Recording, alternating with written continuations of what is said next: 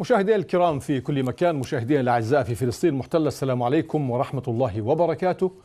وأهلا بكم في حلقة جديدة من برنامج بانوراما فلسطينية ونتوقف في جزئها الأول عند المواجهات العنيفة التي شهدتها مدينة القدس وساحات المسجد الأقصى المبارك بين قوات الاحتلال وأهالي المدينة المقدسة وتجرؤ سلطات الاحتلال على إغلاق المسجد الأقصى المبارك. وفي الجزء الثاني نتوقف عند قرار السلطات المصرية. إقامة منطقة عازلة على الحدود مع قطاع غزة.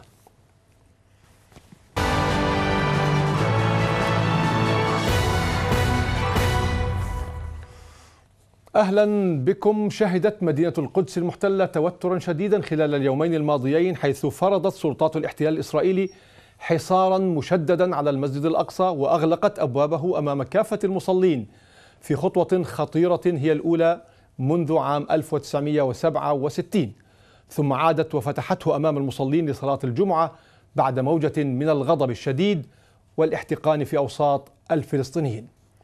جاء ذلك على خلفية المواجهات العنيفة التي شهدتها المدينة المقدسة بين قوات الاحتلال وأهالي المدينة المقدسة الذين هبوا لنصرة المسجد الأقصى ومنع اقتحام الجماعات الاستيطانية لباحاته حيث توجت هذه المواجهات بمحاولة اغتيال الحاخام المتطرف.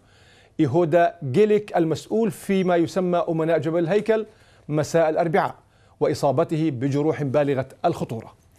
سلطات الاحتلال اتهمت الأسير المحرر معتز حجازي العضو في حركة الجهاد الإسلامي في القدس بالقيام بالعملية وقامت بتصفيته أمس الخميس. الأمر الذي زاد الاحتقان في المدينة المقدسة وأدى إلى اندلاع المزيد من المواجهات بين المقدسيين وقوات الاحتلال.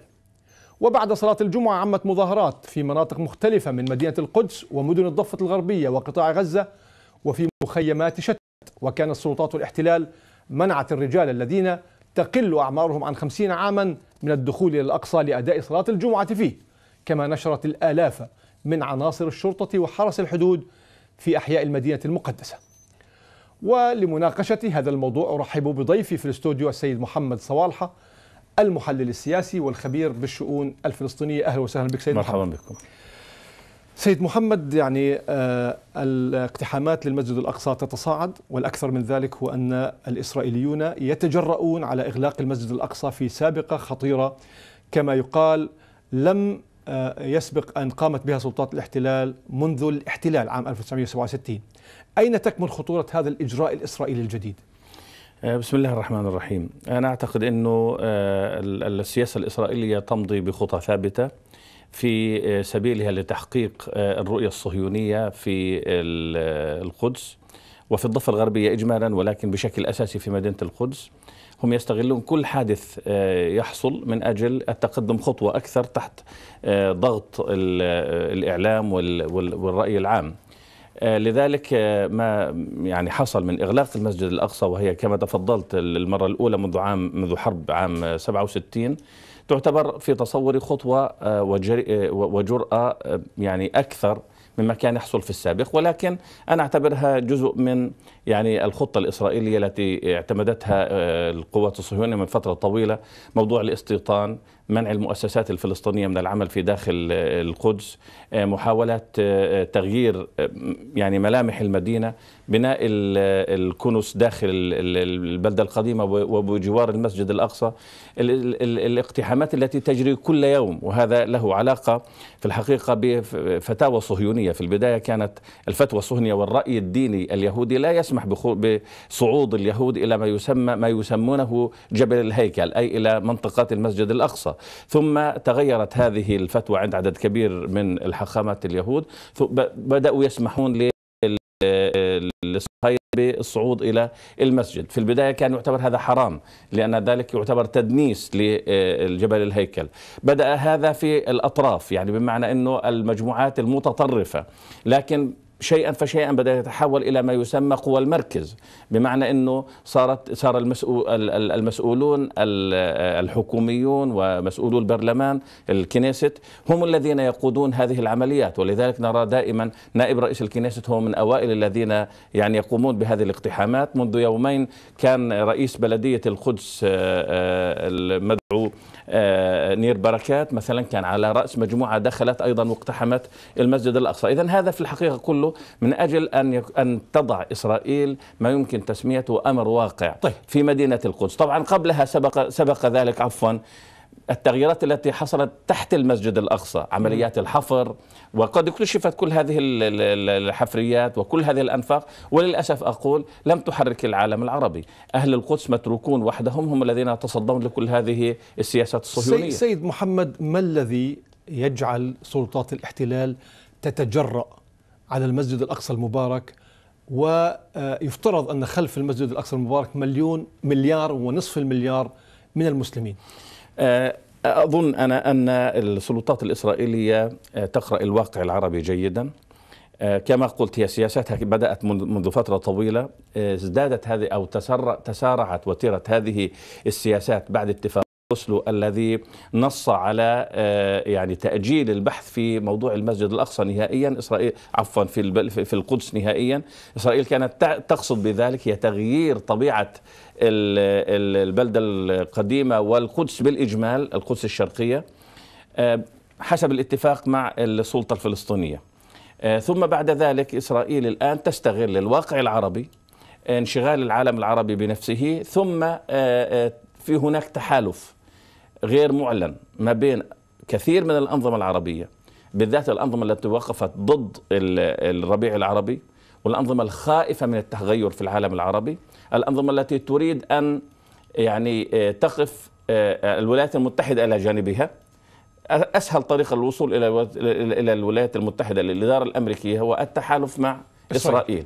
لذلك هناك تحالف مع إسرائيل. هذا ينعكس على اللوب الصهيوني في الخارج وبالتالي هناك عمل مشترك بينهم في الخارج ضد الربيع العربي وضد القوى القوى الحرة في العالم العربي. المقابل هو السماح لإسرائيل أو إطلاق يد إسرائيل فيما يجري في داخل فلسطين وفي لكن داخل مدينة القدس. لكن سيد محمد ألا تعتقد أن إطلاق كلمة تحالف بين الأنظمة العربية أو الدول العربية وإسرائيل فيما يخص تهويد مدينة القدس أمر يعني قد يكون مبالغ فيه؟ أه يعني ربما ربما نقول يعني تسميه أنت آه، مبالغ فيه على اعتبار إنه هو تحالف غير معلن لكن واقع الحال في الحقيقة أنا أنا أراه تحالفا ما هي مؤشرات هذا التحالف يعني إسرائيل لا يمكن أن تفعل هذا لولا لولا يعني دعني أسميه آه، يعني يعني اتفاق غير معلن مع هذه الأنظمة. ما هو موقف السلطة الفلسطينية على سبيل المثال؟ أي أي إنسان قد يسأل ما هو موقف السلطة الفلسطينية؟ تستنكر. هل ترفض. دعك مما يجري في الإعلام. أه. ما يجري في الإعلام شيء آخر. يعني مثلا الأردن السلطة الفلسطينية بإمكانهما أن يأخذ كل القيادات الصهيونية إلى محكمة الجنايات الدولية. كيف؟ الذي يجري في القدس هو جريمة بكل المقاييس. منع الناس من الصلاة في المسجد الأقصى جريمة. الاستيطان بالقانون في القانون الدولي جريمة. عمليات القتل التي تحصل جريمة. كلها عمليات قتل خارج إطار القانون ودون محاكمات. هذا كله يمكن ان ان أن آه، يأخذ قادة إسرائيل كلهم إلى المحكمة الجنائية الدولية. ما الذي يمنع بلد؟ آه، آه، ما الذي يمنع رئيس السلطة الفلسطينية من الذهاب إلى الجنايات الدولية؟ مثلا ما الذي يمنع الأردن الموقع أصلا على على على ميثاق روما من الذهاب إلى محكمه الجنايات الدولية؟ لماذا تقف الدول العربية كلها دون أن تتحرك؟ طيب منذ أيام منذ يعني شهر ونصف تقريبا أو شهرين رأينا أن هناك تحالفا حصل بين الدول العربية وبين الولايات المتحدة والدول الغربية من أجل مدينة في الشمال السوري. طبعا كل العالم العربي عين والإسلامي عين العرب. عزيز علينا ولا نريد لأي منها أن أن يصاب بأي أذى. لكن الجميع ذهب إلى إلى تم تركيز الإعلام على هذه القضية والجميع ذهب في تحالف معلن هناك طيب آه، آه، هل القدس لا تحتاج إلى تحالف؟ هل أهمية. فلسطين أقل أهمية مثلا؟ هل القدس أقل هل المسجد الأقصى أقل أهمية؟ أنا أعتقد أنه يعني إسرائيل لا يمكن أن تفعل هذا الذي تفعله إلا إذا كان هناك اتفاق ما بينها وبين هذه الأنظمة العربية الساكتة طيب الأردن كواحد من هذه الأنظمة العربية التي تتهم بأنها ساكتة. بالأمس وزير خارجيتها وأكثر من مسؤول أردني تحدث عن تهديدات أردنية للسلطات الإسرائيلية. إذا لم تتوقف عن آه، آه، سياسات التهويد والاقتحام للمسجد الأقصى فسوف تقوم الأردن بسحب السفير الأردني للتشاور. هل هذه الخطوة ألا تعتبر هذه خطوة جيدة من الأردن يا أخي إحنا أولا هذا لا يعني شيئا. ثانيا منذ مدة كان هناك مطالب من الجمهور الأردني بسحب السفير الإسرائيلي وكان رئيس الوزراء يبرر أن بطرد السفير الإسرائيلي تقصد؟ بسحب السفير الأردني, الأردني. وطرد السفير الإسرائيلي وكان رئيس الوزراء في الأردن يقول إن هذا ليس من مصلحة الفلسطينيين. كيف؟ هو بررها اننا أننا بهذه الطريقة نبقي على الاتصال بيننا وبين الإسرائيليين للبحث في هذا الموضوع وإذا سحبنا السفير وطردنا السفير معناها انقطع الخط. هذا أنا أعتقد إنه هذا الكلام يعني يعني هذا هذا هذا يعني الكلام للاستهلاك ليس أكثر. نعم. آه النظام في مصر وهو أق يعني أكبر دولة النظام في السعودية وهي الدولة أيضا من أهم الدول العربية وراعية الحرمين. الجميع يسكت ليس هناك حركة. الذي يجري في المسجد الأقصى الآن جريمة بكل المقاييس. أهل القدس وحدهم متروكون وحدهم يواجهون يعني القوة الإسرائيلية الهائلة بصدورهم العارية. نعم. هذه هذه قضية هذا هو الواقع. دعنا مما يجري مما مما نسمعه في الإعلام نعم. ما يجري في ما, ما نسمعه في الإعلام غير على الذي نراه على أرض الواقع. نعم. للأسف الشديد يعني ربما تاكيدا لبعض مما تفضلت به. الدول العربية يعني لم آه، تنتفض لإغلاق المسجد الأقصى في سابقة تاريخية منذ 1967 لم يحصل من قبل الإسرائيليين وربما هذه في المستقبل تداعيات أو ربما يعني آه، إجراءات آه، تستند إليها إسرائيل لعمل المزيد من من هذه المسائل ضد الأقصى. الذي كما ورد في الإعلام الذي أدى إلى إعادة فتح الأقصى للناس يوم الجمعة لصلاة الجمعة هو طلب أمريكي من إسرائيل خشية أن يتم يعني انفلات الأمور.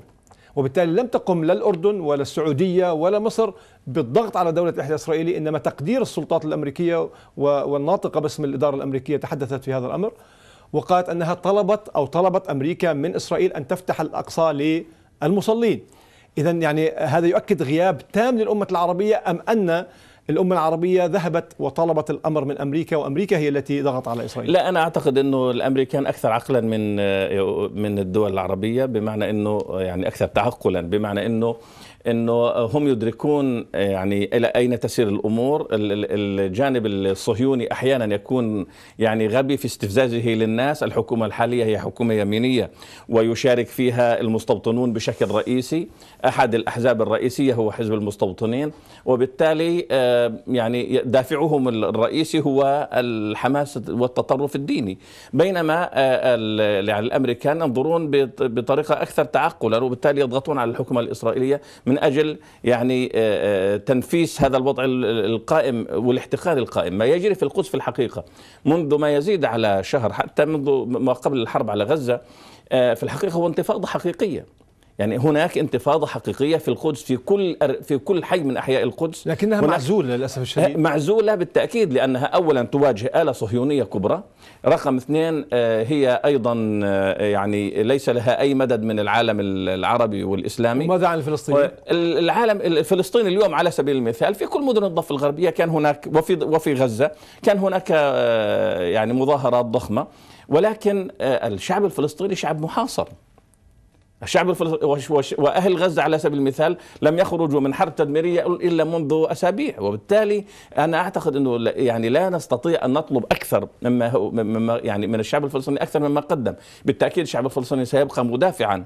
بكل ما يستطيع عن المسجد الأقصى وعن القدس وعن الضفة الغربية وعن كل فلسطين. نعم. ولكن الحديث ليس هنا فقط عن باختصار الشعب الفلسطيني لا يواجه إسرائيل وحدها، الشعب الفلسطيني يواجه الآلة الصهيونية مدعومة بكل الآلة الغربية، بينما الشعب الفلسطيني محصور عندما حصلت الحرب على غزة كان معظم الأنظمة العربية ينتظر أن ترفع حماس الرايه البيضاء وتستسلم نعم. وهذا الذي يعني آه، آه، لسوء طيب. حظهم لم يحصل طيب سيد محمد العالم آه، المجتمع الدولي هل يمكن أن يلعب دور مثلا في وقف الانتهاكات الإسرائيلية أمريكا التي تصفها بأنها أكثر تعقلا من العرب أليس بالإمكان أن يعني آه، تنهى إسرائيل عن هذه الجرائم التي تمارسها ضد القدس عموما وضد المسجد الأقصى المبارك؟ يعني أحيانا آه، آه، نسمع تصريحات من الإدارة الأمريكية كما ذكرت قبل قليل أكثر مما نسمع تصريحات من من الدول العربية ورئيس ووزير الخارجية الأمريكي في الحرب على آه، لعلكم تذكرون إنه آه، يعني في واحدة من البرامج الإخبارية آه، يعني خرج منه كلام بعد أن ظن أن الميكروفون يعني أغلق. مسيء لإسرائيل وإسرائيل هاجمته وتعرض في الحقيقة هو لهجوم كاسح من نعم. طرف وما يزال يعتبرونه غبي يعتبرونه أبله يعتبرونه كذا وكذا ومنحاز ضد إسرائيل. والإدارة الأمريكية كلها كذلك. هي في الحقيقة الإدارة الأمريكية كلها مع إسرائيل ولكنهم على الأقل يعني يوازنون في بعض الأحيان. بقية القوى الدولية ال أي, أي القوى الدولية الأخرى أوروبا هذه الدول تقف إلى جانب القوي. الدول العربية ليس لها أي تأثير بل الدول العربية لا تتحدث عن فلسطين. يعني يعني معلوم أو مشهور إنه بعض المسؤولين الأمريكان كانوا يقولون إنه الزعماء العرب عندما يأتون إلى البيت الأبيض لا يتحدثون اطلاقا بقضية فلسطين، هم يتحدثون في في قضية فلسطين عندما يذهبون إلى تلفزيوناتهم، لكن عندما يذهبون إلى المسؤولين الأمريكان لا يطالبونهم. متى يمكن أن يكون العرب مؤثرين؟ عندما يكون لهم قوة ويكون لهم كلمة واحدة و و و وتأثير. أنا أعتقد أنه يستطيعون أن يؤثروا لكن الإشكال يقع في النظام العربي نفسه. ما دام الأمر بهذا الشكل ولا أمل في حكام آه، وأنظمة العالم العربي الإسلامي هل يمكن التعويل على ما نراه من ملامح ضغط أوروبي؟ بعض الدول تطالب بوقف الاستيطان تطالب ب آه، أو آه، موجة الاعتراف بالدولة الفلسطينية مثلا. هل هذه تعطي شيء من الأمل للفلسطينيين أن العالم ربما يتحرك من أجل القدس والأقصى؟ أنا أعتقد إنه العالم يعني مش راح يتحرك من أجل القدس والأقصى، العالم يتحرك إذا رأى أن الشعب الفلسطيني صامد، وأنا أعتقد إنه هناك رابط ما بين آه، حركة الاعتراف بالشعب الفلسطيني ب ب يعني بحق الشعب الفلسطيني في دولة التي تجري الآن في دول في الدول الأوروبية بدءا بالسويد ثم بريطانيا والآن هناك إسبانيا وفرنسا على على والدنمارك على على الطابور كما يقولون. هذا في تصوري جاء بسبب صمود الشعب الفلسطيني وبسبب انفضاح إسرائيل في حربها الأخيرة نعم. الحرب الدموية عندما يرى الناس أن الشعب الفلسطيني يعاني. خاصة الجماهير في هذه الدول تضغط على حكوماتها. ونحن رأينا, ونحن رأينا في بريطانيا أن الحكومة كانت ترفض هذا الضغط نعم. ولكن نعم. النواب هم الذين أخذوا هذا التوجه. واضح. اسمح لي الآن ينضم إلينا عبر الهاتف الشيخ صالح لطفي مدير مركز الدراسات المعاصرة من أم الفحم. الشيخ صالح أهلا وسهلا بك. حياك الله أستاذ الحبيب. آه، شيخ صالح يعني إلى أين ستقود المنطقة تصاعد الانتهاكات الصهيونية بحق المسجد الأقصى المبارك وبحق القدس عموما. نعم أخي الكريم آه، في تصوري أن القضية يجب أن نقرأها من زوايا مختلفة تجاه ما تقوم به إسرائيل في القدس عموما والمسجد الأقصى المبارك خصوصا. إسرائيل تستثمر في هذه اللحظات التاريخية آه، حالة السيولة آه، الكثيفة التي تمر في عالمنا العربي وبالذات في محيط هذه الدولة.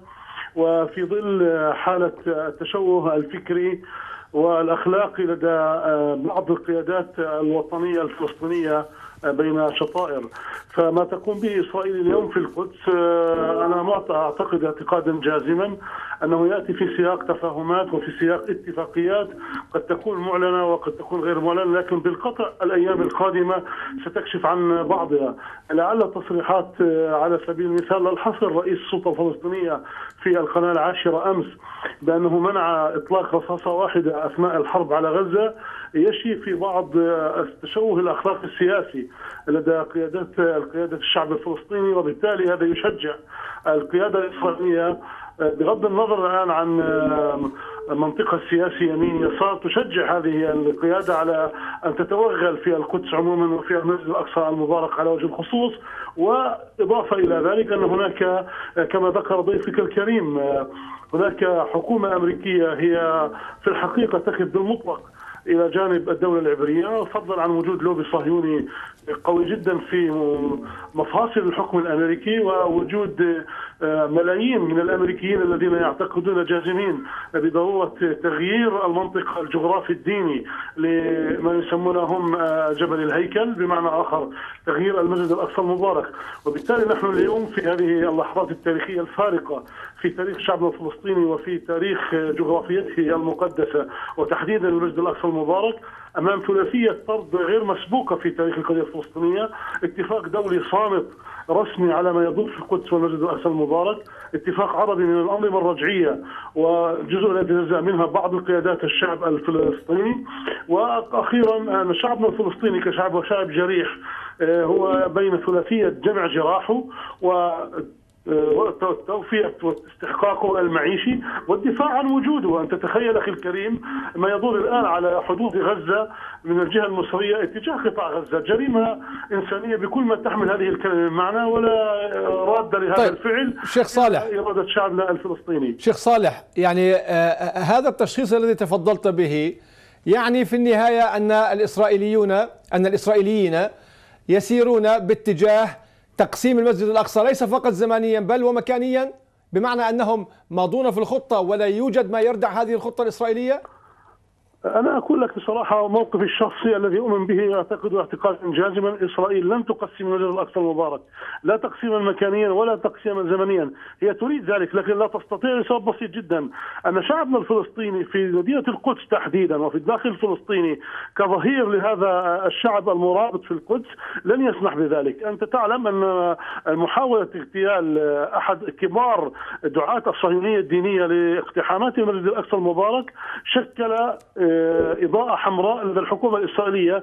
يكفي أخي الكريم أن تعلم أن إسرائيل في ليلة الخميس من الساعة التاسعة والنصف مساء حتى الساعة الرابعة فجرا توحدت قنواتها الثلاث الرسمية والتجارية القناة الأولى والقناة الثانية والقناة الثالثة توحدت في بث غير مسبوق حول تاريخ هذا الإنسان وتاريخ هذا الرجل وماذا فعل للحكومات الإسرائيلية من أجل تثبيت قدم اليهود في المسجد الأقصى المبارك. تقصد الحاخام جيلك صريح تقصد نعم. الحاخام جيلك نعم. نعم نعم. وفي الوقت ذاته هم كانوا يحذرون بشكل صريح لما يأتي وزير الأمن الداخلي الذي يعتبر من صقور اليمين في إسرائيل ويتحدث على أنه يجب أن ينسى الإسرائيليون تقسيم المسجد الأقصى المبارك ويجب أن يفهموا أن ستاتس هو أي الوضع القائم الذي اقره موشي ديان عام 67 يجب أن يكون قائما والسبب المباشر والرئيس هو انتفاضة أهلنا في القدس. تعلم ماذا تعني كلمة انتفاضة في مدينة القدس؟ يعني أمام العالم أجمع أن القدس غير موحدة أن القدس ليست عاصمة أبدية لدولة إسرائيل كما هم يعتقدون. وهم يعلمون جيدا أن القدس ستغسى ستعود إلى تقسيمها الجغرافي المكاني. وبالتالي هم يريدون الآن اتباع سياسة النفس الطويل. وجود 2000 من الشرطة الإسرائيلية اليوم وحرس الحدود والولايات الخاصة وحيطة المسجد الأقصى المبارك لم تمنع 6000 مصلي جيل الخمسين فما فوق من أبناء الداخل الفلسطيني والقدس أن يدخلوا المسجد الأقصى المبارك ويصلي أكثر من 10000 مصلي في أسوار المسجد طيب. الأقصى المبارك هذا تحدي غير مسبوق للدولة العبرية نعم.